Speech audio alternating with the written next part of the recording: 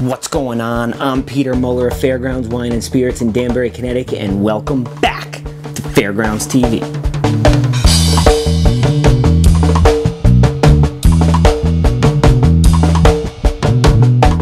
Welcome back, everybody. Today we're going to check out one of my uh, another one of my favorite Belgian beers here. Uh, it is Houblon Chouffe. It is a double IPA uh, triple. So it's gonna have it should have some hops behind it a little bit, and then uh, it should also have some triple spices. Hopefully, uh, I haven't had it in a while. It was one of my favorites back in the day. Some interesting things about this beer: it is nine percent. Um, also, it is the first time it was brewed was in 2006. Actually, um, they decided that the lovely smelling hops and the uh, triple that they've been brewing would go great together, and this is what they uh, came up with. Oh, it's a real light orange, beautiful carbonation. Going to be nice, tight lacing head. Let's give it a sniff. It's amazing. It's like there's. It's a very complex smell. They, I believe they have three different types of hops in here, so they're all kind of melding together. It's like an orange zest and an, a lemon zest, and you get some real slight spices. It's it's kind of fruity in the nose, but it's got like this floral hop side to it. Let's give it a sip.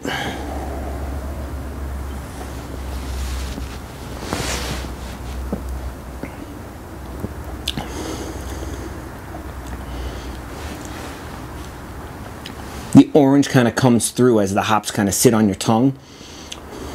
It's got very nice carbonation, and then almost this uh, candied sugar kind of comes through a little bit. It's a little bit sweet, but it's got these hops in it.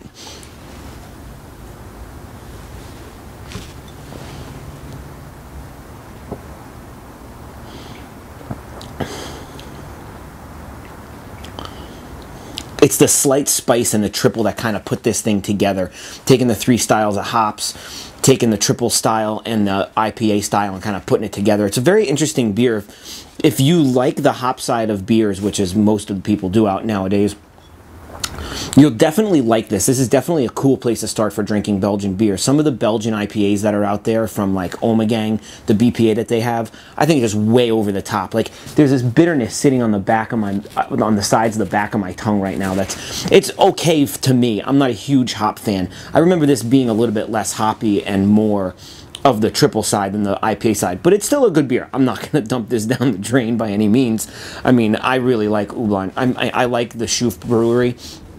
This is a great beer. Um, and please remember, please, please, please let us know if you want me to taste a beer that you've been seeing or advertised or wherever.